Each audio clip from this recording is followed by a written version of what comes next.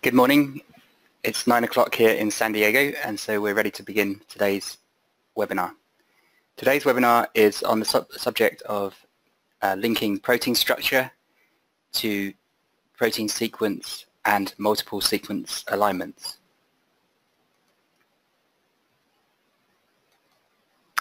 My name is Andrew Orry and if you have any questions after the webinar please feel free to email me or call. Uh, during the webinar you can use the question panel to ask any questions and I'll try and address them as we go along or, or wait till the end. If at the end you have a question that's more complicated and you, I can open your microphone and you can speak through the microphone. You can follow um, MolSoft on Twitter, YouTube and Facebook and LinkedIn and we got another webinar in a couple of weeks time on homology modeling. All participants of the webinar uh, receive a, a 14-day license and you can email, I've sent you an email about it but if you haven't didn't receive that email then please email me and I'll send you the link again.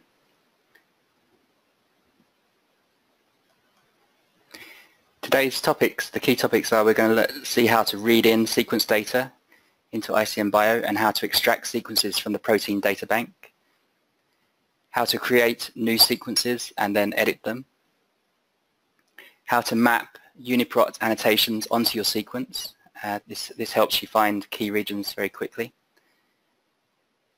How to uh, place these sequences into a multiple sequence alignment and build an alignment. And then once you have your alignment, uh, there's different ways of editing the alignment. You can shift uh, the sequence along, for example, or you can um, add gaps, or you can color the alignment and also annotate the alignment. And then we'll be linking the sequence alignment directly to protein structure. So for example, here we have the surface of a protein and the coloring from the alignment is mapped onto the surface.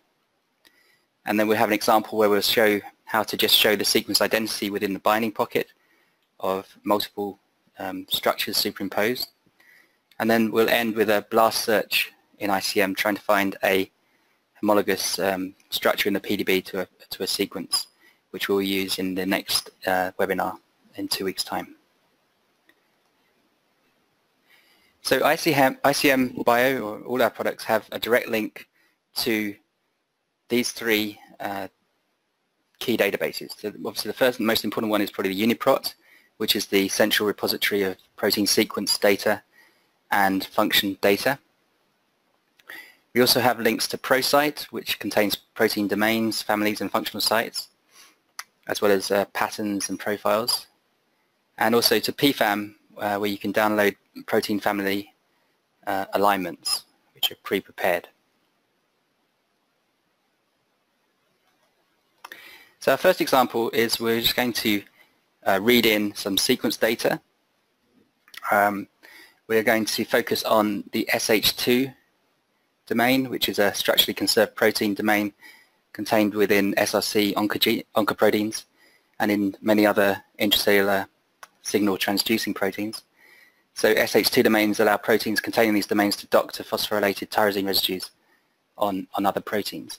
And so we, are going to look at those sequences and we're going to read them from UniProt, from PFAM, extract a, a sequence from a SH2 domain from the protein data bank, and we're also going to create new sequences.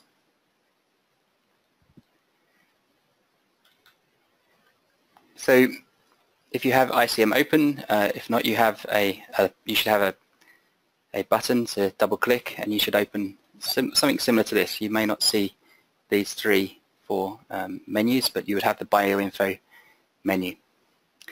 So to bring in data into ICM Bio, the key one of the key uh, tabs is this search tab. So this search tab allows you to search the PDB, for example, um, and UniProt. UniProt is the, what we're going to, to look at um, today.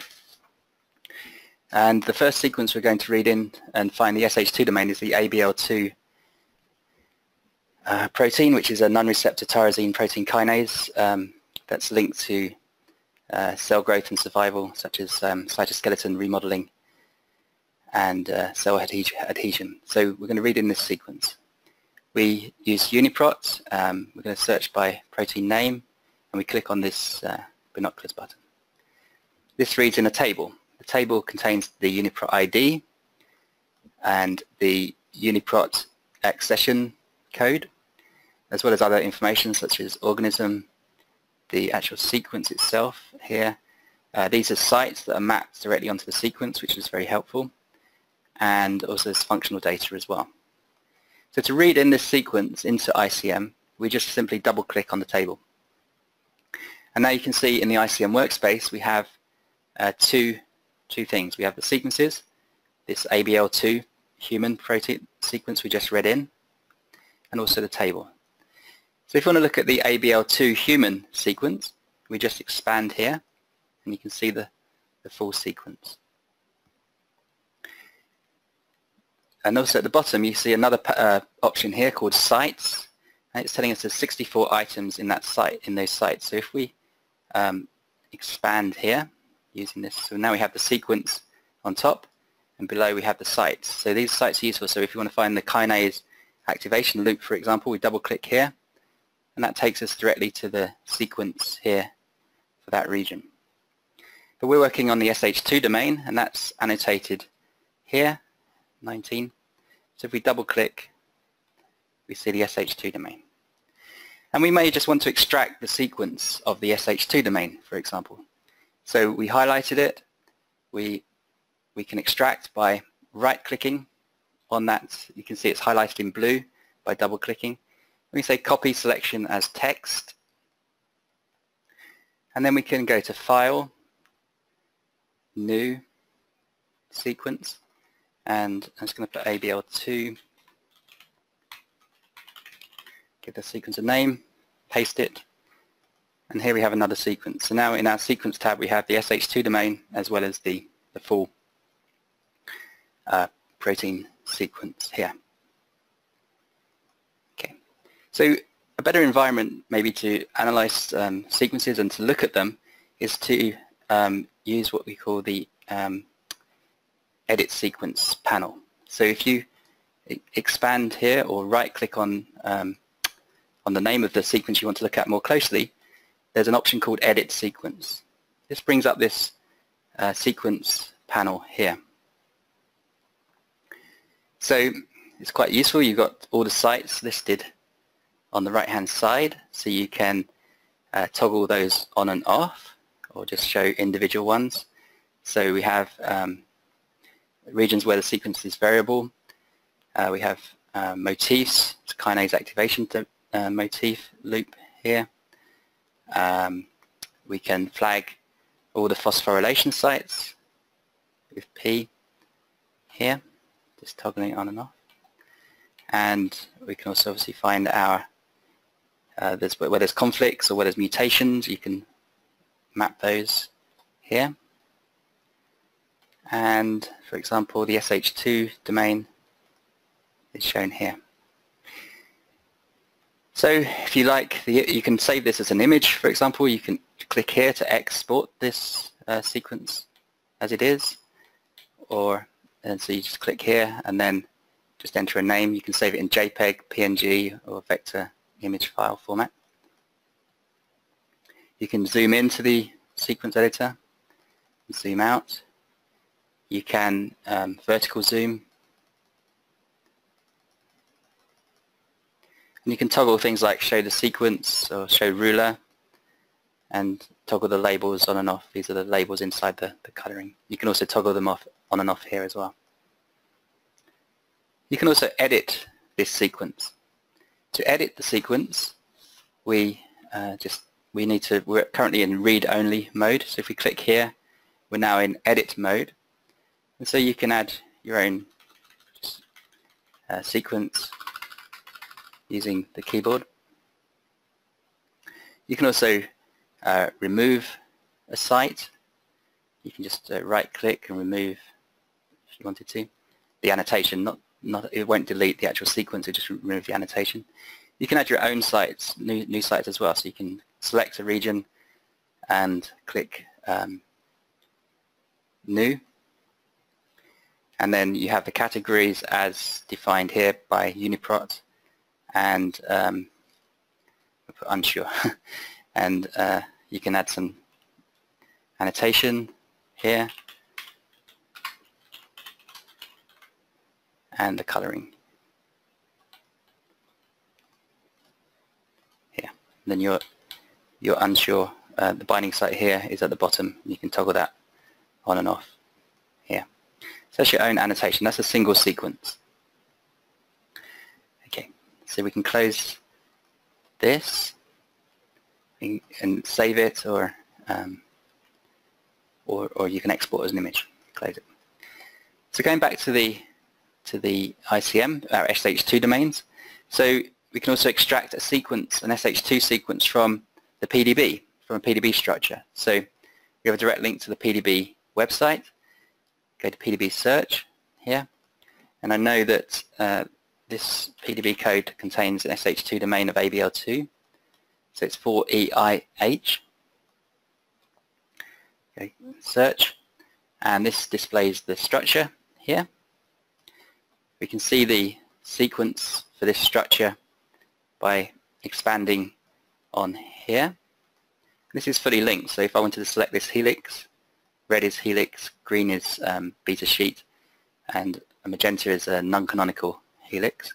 You see the link is directly to the sequence here, and so you, anything you do here will respond to that, that selection. But in this example, we want to extract this sequence, so maybe we want to use it for a sequence alignment. So to do that, um, we right-click on the sequence on the molecule and choose Extract Sequence. Go OK.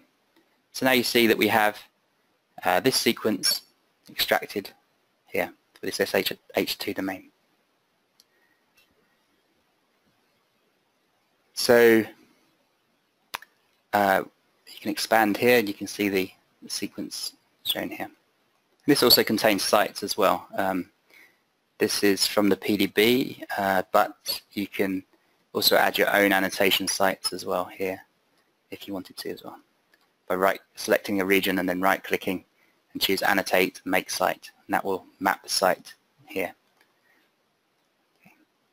Then finally, so other ways to read in sequence would, would be to go file open and then you can open in um, so sequence format, FASTA format shown here if you wanted to read it in from an external file. And just finally, if we wanted to go from the SH2 domain, from the PFAM, we go to File, Load, and choose PFAM alignment. And you need the PFAM ID, or you can search by keyword. And you can choose whether to download all the sequences or just a representative one from each um, family.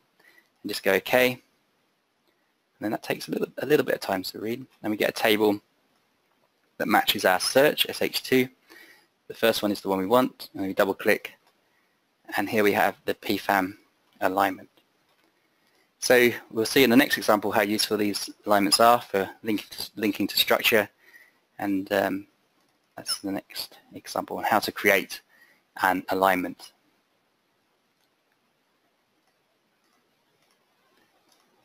Okay, so in the next example, we are going to read in objects, which are PDB structures we're going to read in some sequences from the, P, from the UniProt. We're going to extract sequences from the object and build an alignment. We're going to uh, look at the alignment and look at the sequence similarity in the alignment around the ATP binding pocket of this kinase. And then we're going to see how you can map data from the, the alignment to your 3D structure.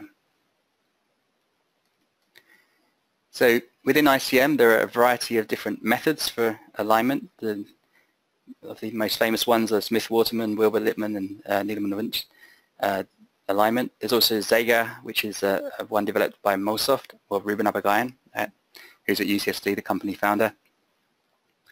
Uh, it's more designed for, for modeling to get the best um, structure-guided um, model. And then we have uh, comparison matrices uh, BLOSUM, uh, BLOSUM, a variety of different ones, and HSSP. And you can play around and toggle between the two different ones, uh, between the different alignment methods if you want to. We also have inbuilt into ICM a modification of the DSSP algorithm for predicting secondary structure. Um, it's based on the observed pattern of hydrogen bonds in a three-dimensional structure. Okay, so the example we'll start working. So I'm just going to start with a clean ICM session. And we're just going to go to um, UniProt, and we're going to read in some kinase sequences. So the first one is pim1 underscore human. Just type it, and um, you should get a table here. Just double click to load it in. The next one is KCC2A. These are all uh, CAMK kinases in the similar same family. And then CHK2, double click. So now we have three sequences. I was going to delete these tables so we don't need them anymore. And now I'm going to read in two kinase protein structures from the PDB. So one of them is 2PHK. So we go to the PDB search tab, uh, search tab, and then PDB search. Okay, search, and the structure is loaded. You can see 2PHK here. And the other one is 1QL6. Okay, so now we have two objects, two, P two PDB structures, and three sequences. So to make our alignment, we want to include these structures. So we can see the sequence here. We want to extract the sequence. So as we did before, we right-click on the sequence and choose Extract Sequence. Go OK. And you see now that 2PHK is listed here. And this little symbol here indicates that the sequence has been extracted and it's linked to this one here. Now we'll do the same with the 1QL6 as well. So we right click here and choose extract sequence and it's displayed here. So now we have five uh, sequences for our sequence multiple sequence alignment. To make a sequence alignment, you might have you may have hundreds of sequences here in, in a bigger example. Um, so you can double click on one and use tab to select them or you can use, select a non-contiguous list using control. Okay, you just need to select them. And then you right click on the sequences and choose the option Align Sequence. And here we have the sequence alignment. So um, you see in the, in the sequence alignment we have uh, quite a, this CHK2 has a longer N-terminal uh, domain. And you can see that these two blue dots indicate that this is a is a protein sequence, a 3D structure. So if we toggle that structure off here, you see it's, it's turned off here, and vice versa. We also notice that in the in the ICM workspace, in the in the um, in the molecule, we have this ALN here. This means that this sequence is now in the align in this alignment called ALN. So that means if you make a selection here, that selection is propagated to the alignment as well as the 3D structure. So you can select the helix here, for example, and that's propagated here, which is which is very useful. If you wanted to change the alignment method or any other option. You go to bioinfo and um, you can choose multiple sequence alignment here and then you can change the um, the comparison matrix here and there's a way to change the align method as well. Okay, so we have these two kinases. At the moment it's hard to tell which one's which so uh, what we will do is we'll go to display tab and we'll say color and click and hold on the ribbon because they're displayed in ribbon. Click it color by alignment. Oh, sorry, color by object. So the 2PHK is colored blue and the 1QL6 is colored yellow. As I mentioned before, the aim of this example is to uh, be able to find the sequence identity around the ATP binding pocket of these, these kinases and these sequences. So be, we need to now uh, superimpose these two structures so we can find the sequences around the ATP binding pocket. To superimpose, we expand here. We select what we want to superimpose. So I want to superimpose the A molecule of 2PHK and the one A molecule of 1QL6. So I click and press Control, or alternatively you can use the, um, for example, you could use this uh, rectangular selection and just select that way as well. And then we go to Display tab, and there's a Superimpose button here. And it asks you which one you want to be static. In this case, it doesn't really matter, so I'm just going to, to PHK. And so now there, those two uh, kinases are superimposed.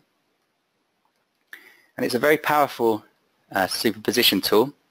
So basically it will superimpose anything you select. So if we wanted to maybe uh, superimpose these helix, this alpha C helix here in the, which sometimes moves in and out of the binding pocket, you can just select that helix and then superimpose and it will do it. But in this case, uh, we're pretty more, it's pretty, uh, it's, sensible to superimpose the ligand binding pocket. So um, they're pretty close structures anyway, but uh, we can select the neighbors of the of the ligand. So one, this is showing the ATP of the 1QL6 here. This is the ATP molecule here. So we can select neighbors of this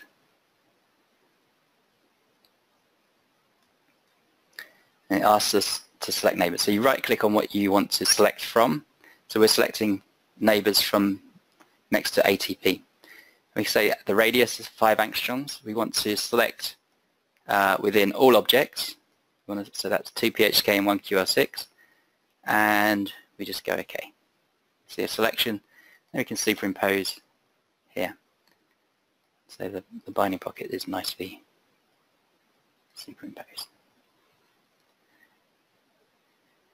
Okay, so to look at the alignment um, and, and map and see the conservation in our binding pocket compared to the other three, compared to these two objects and the three sequences, what we can do is right click, select, make that selection again as a, let's go OK.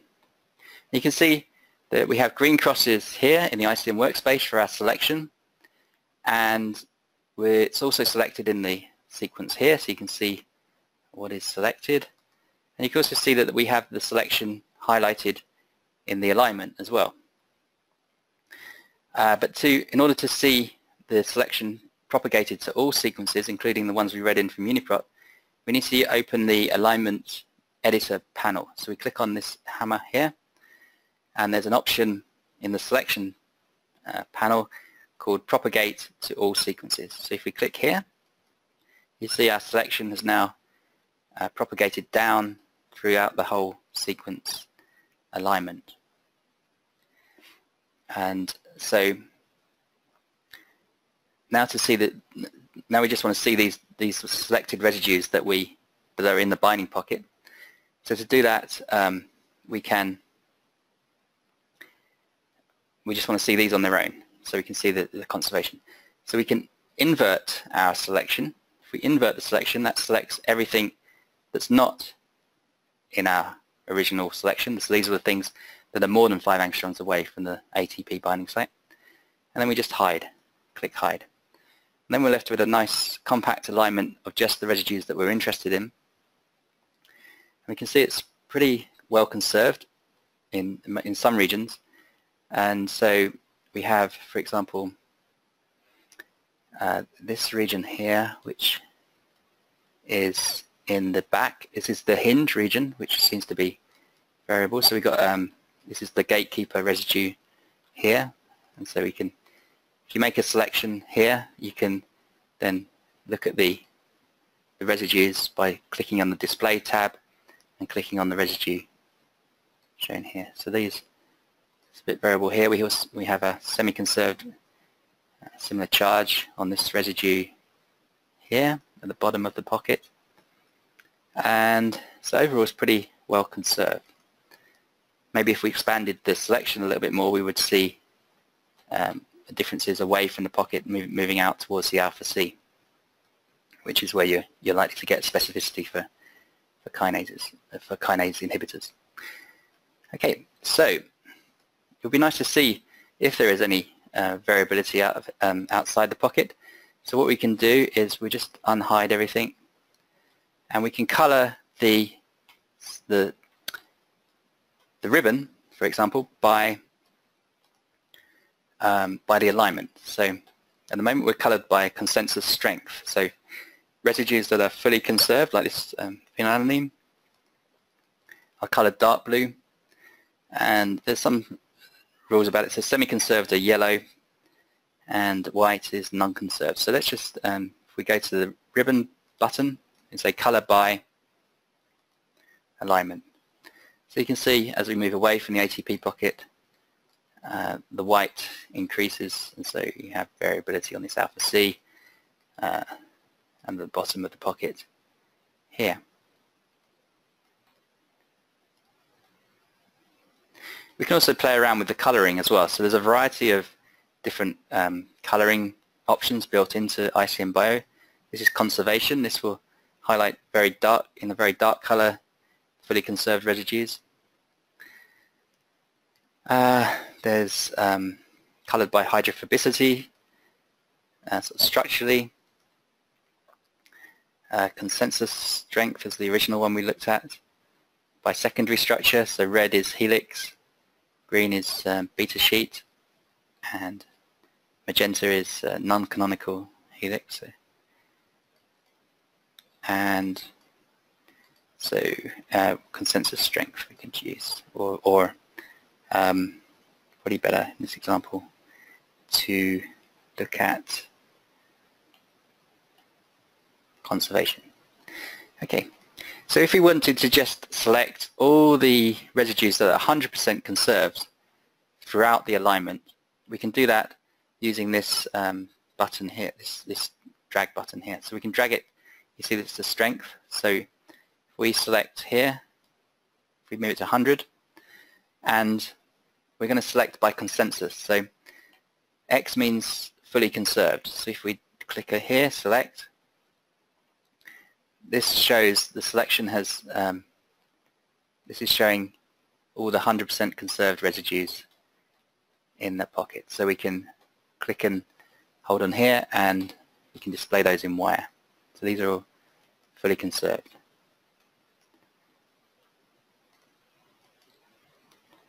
Okay. If we want to select those that are semi-conserved, that's a uh, hash. So we can click hash and select those as well. Okay. It might be nice to propagate onto the surface of the protein where these, uh, these conserved residues are. So we can make a surface by double-clicking on one of the, the objects. We go to the Meshes tab. There's, there are some inbuilt electrostatics and binding property surfaces, uh, but we don't really need that coloring. So we're just going to build a plain solid just go OK. So here we have the, the, the plain solid. It's going to undisplay the representation underneath. And you see there's a residue label as well. Um, so we can, for example, we can just select again the fully conserved residues. So I'm just going to type X here, press select, and you see that the selection has been made here. These are all highlighted. And then the, the, the skin that we just made, this um, surface we call we call it skin. So it's in this is a G for graphical object, um, and it's a skin, and it's made from the molecule, the PDB structure 2-PHK, and it's made from the A molecule.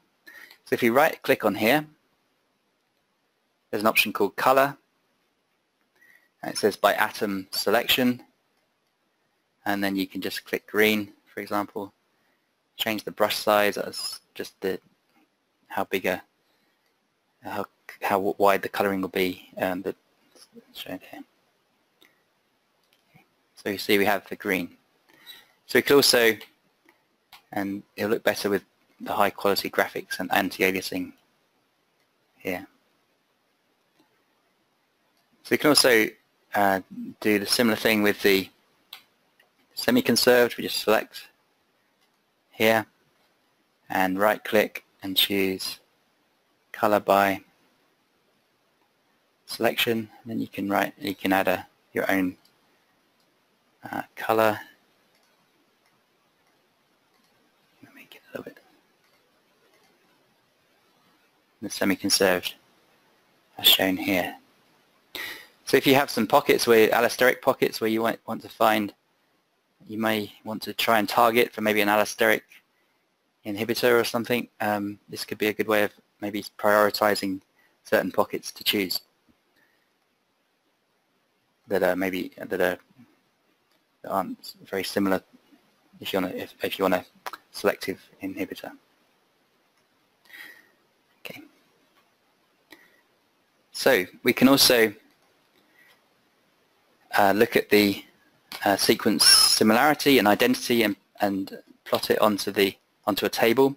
So if you right click on the table and choose calculate sequence similarity from alignment. So we have uh, from alignment we want to compare it to uh, one of our target sequences. So we compare it to CHK2 and go OK. This builds a table where we have um, the sequence identity, for example, from our reference one, which is CHK2 against 1QL6, which was one of our PDB. So the identity is 37. Sequence similarity is 45%. Obviously CHK2 against CHK2 is 100. And if we go along, we can see, if we move along here, we'll start getting into the regions where we have, um, so th these ones have long N terminals, that's why we're missing residues here. So basically this is your alignment with the sequence um, with the, the, sequence numbers and when they're fully conserved they're colored uh, conserved um, same color here We've got an insertion here for example. We can also plot build a plot of the um, if we click here the alignment strength profile uh, we just go okay and uh, so we have the, the alignment strength for each position. And we can also map that onto the alignment as well by going here and say plot. And we can see the bars. So where it's 100% conserved you see obviously a larger bar. You can change it to, to lines as well. You can plot anything on top of a, an alignment um, any um, real array of data you can plot on top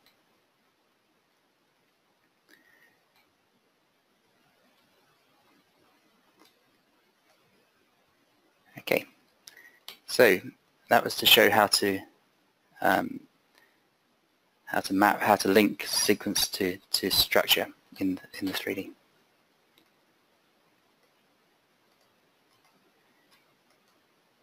So the, the, the last example is um, on alignment and its annotation. And we're going to be looking at uh, GPCRs for this example. So GPCRs all share a common structural core of seven transmembrane helices, but they lack uh, significant sequence homology between the subfamilies. And so this uh, causes problems obviously when you're modeling them. So when modeling GPCRs, it's important to, to get a good alignment between the query and the template structure. But fortunately, in most of the helices, in all of them, there's something that can guide you in order to, to align those helices correctly. Uh, you, when modeling GPCRs, which we will do in the next webinar, uh, you you may want to use um, pre-made alignments, for example, from ProSite, which you can download from from ProSite directly, and you can use those to guide your alignment. But there's certain motifs, like for example, this uh, DRY motif in Helix 3, which aids um, the alignment. So let's read that example. It's going to get a clean ICM session. And the example is PCR class A. Okay, so in this example, if I'm just going to put default layout, we have uh, one GPCR crystal structure shown here and a variety of other GPCR sequences and some of these have um, crystal structures as well. So this, this will help us uh, build an alignment and find a template for, for modeling, for example. So if we read in, it's going to make go to Windows and you can say alignment main. That makes the alignment the, the key window in the display. I'm going to undisplay that. Okay, so in this example we're going to, to use the annotation tools to better to easily navigate around the, the structure. So we click on the hammer button here and one useful thing would be to show the secondary structure. So if we click here, this maps the secondary structure uh, from the PD, from the PDB structure that we have in the alignment onto the onto the alignment. So we have the helices shown in red. So for example, we can select helix 1, which I think is here, part of that. Um, so you can either select here, you can see we made the selection, so you can, we have one helix uh, selected, and we can annotate that helix, for example. We can right click on a selection and say draw box. That would put a nice red box or whatever color you want around the, the uh, region. We can select that region again and choose shade color. So that will change the, the way it's shaded. So it helps us stand out. Or you can change the font color. Oh, wasn't that very good. Um, change font color to just make a selection and then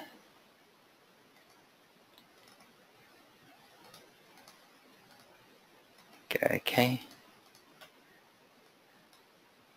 or you can just select and say clear font color. That's probably the best thing to do in that case. Um, there's other things to, to change. You can make the, the, the font color um, bold. We can also make our own annotation as well. So we can say annotate region here and um, this is helix 1 or tra transmembrane region TM1 OK. So now we have the the annotation here. So if we just cl cl single click on that annotation, it selects that region. And um, it's also the same with uh, disulfide bonds. So we see that we have a disulfide bond here. This yellow line indicates a disulfide. It's linking these cysteines. So if you single click, it selects it in the in the 3D display, and you can display uh, disulfide with stick, for example, shown here. Okay. So we can also propagate other annotation. If you if you right click, if you make a selection, we can add other things such as annotate with residue number. Uh, it's like this. It's got the residue number highlighted on top or you can um, add your own shapes, annotate with shapes. Um, let's go OK. Just different ways of annotating this region. Uh, you can also display the some other um, so we can display some other sites from the PDB here. So these are taken. This is um, binding site, for example, you can see when I click in the display here, it toggles down here the, the binding site regions. This is from the from here. If there's any other annotation any other sequences, you can do the same and map those onto your, to your alignment.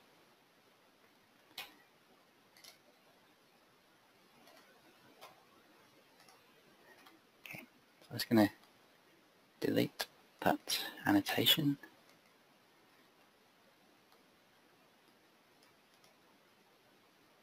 You can also extract an alignment. So if we want to just extract the sequence for uh, transmembrane 1, we select it and then choose extract selected alignment block. So we have a new alignment here and we can rename that alignment to TM1, for example. Go back. But uh, for this, as I mentioned, for GPCRs, we have there certain motifs that are, are useful to, to identify. One way to do that would be to use the profile here. This click here, and you can see that the the alignment has the profile uh, with if the if the, it's pretty well conserved, the the letters are large. So, the cysteine is fully conserved. It's making a disulfide bond. And then here we can easily find the, the DRY motif in TM3 shown here. So you can select that, that region.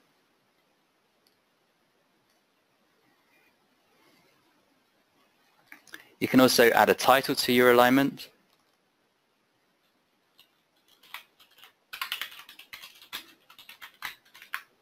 Here. You can also view the tree for your um, alignment as well. So if you, here's a tree. Okay. You can rearrange the tree as well. So if you wanted, for example, um, your crystal structure to be on the bottom, maybe for an image for a paper, with the alignment, you can drag it from here and drop it to the bottom. So it's uh, should be able to it's not moving for some reason. You should be able to select a, a, a sequence and and yeah and move it to the bottom. So you can toggle the tree on and off. You can say tree only.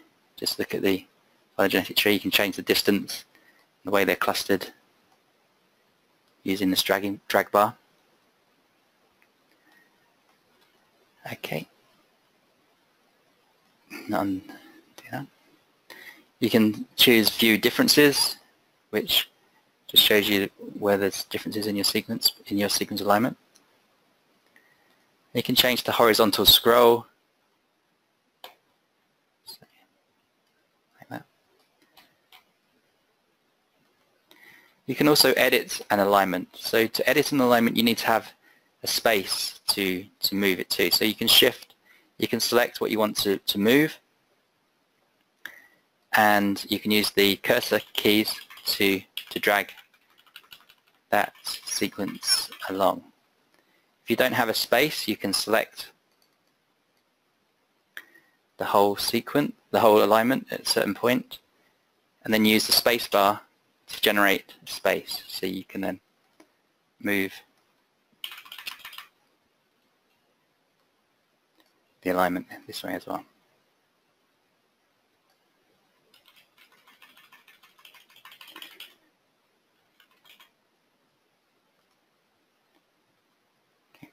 And there's also a variety of preferences as well for uh, how you want to display the alignment. You can auto hide gaps. For example, if you've got very big gaps in your alignment, you can just hide them by changing the the value here.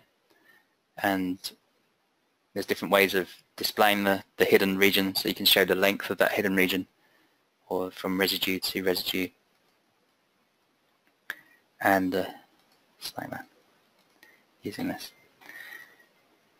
Okay, so that's the alignment. Once you've made an alignment that you like, i that's going to get rid of the tree. Uh, you can save it as a PNG or as, as an image. So you right-click in the white space and choose Save Export as copy to clipboard or save as image. And you can choose uh, the resolution. You might want to choose 3 for the resolution. And you can choose whether to output as full width or in 60 chunks, uh, 60 residue uh, chunks. Okay, so that's the alignment editor. And in preparation for uh, next time, um, which is the modeling, we're just going to show you the blast search. So um, I'm just going to delete all here. So for blast search, we need to read in a sequence as we've done before. So